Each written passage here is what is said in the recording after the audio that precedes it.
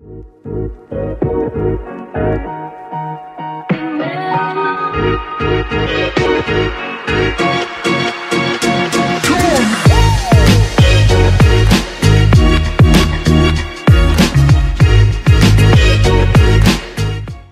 guys, it's Kent Davis, and today I'm going to tell you about Santa Maria. So, Santa Maria is in Panama City. It's actually kind of on the suburbs of Panama City. It is just east of Costa del Este, meaning it is the closest gated community to the airport. So, if you are a frequent traveler, Santa Maria is definitely worth considering.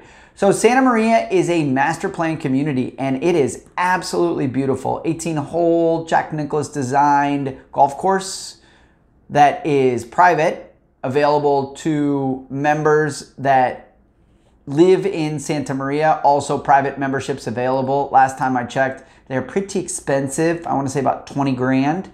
And then greens fees are also kind of expensive for Panama.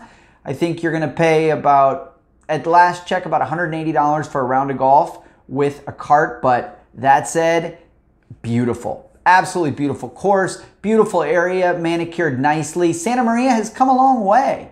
It used to be an empty field that in 2012 got released, 2014 sort of breaking ground, and today there are quite a few high rises and homes for sale. Santa Maria is every bit of luxury. So, what does luxury mean? Well, it means kind of expensive.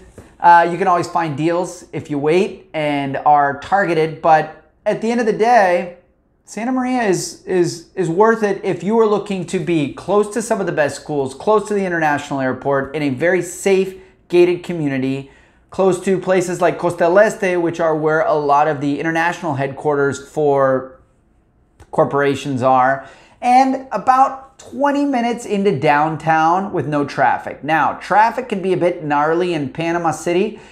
The morning commute, if you live in Santa Maria and work downtown, depending on when you leave, could be as long as 45 minutes to an hour. Now, the nice thing about Santa Maria itself is it's very low density. You've got sprawling estate style homes and one, two, maximum three apartments per floor in these high rises, meaning you don't really get a whole lot of traffic even at five o'clock at night or eight o'clock in the morning in Santa Maria, which is nice.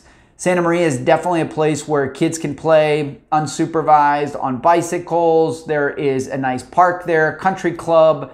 Just a lot going on in Santa Maria recently in terms of new malls. Santa Maria is also, again, adjacent to Costa del Este. So everything that's good about Costa del Este in terms of shopping, activities, parks, things like karate and ballet and all that other stuff for kids is at your doorstep, really. It's, it's, it's five minutes away. So it's very convenient to live in Santa Maria. It's very exclusive um, and it's, it's a nice area. So if you're interested or if you have any questions, comments below, we are here to help. Thanks, guys. Have a good day. Thanks for watching.